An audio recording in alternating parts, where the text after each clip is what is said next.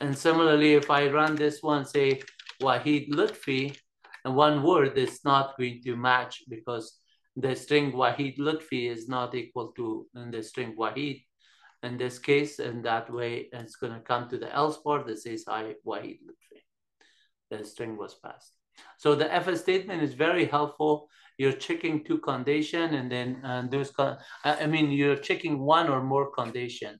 One or more condition, meaning that this condition or Boolean expression that you can do um, as many other um, comparison, Boolean operator of and or uh, kind of statement.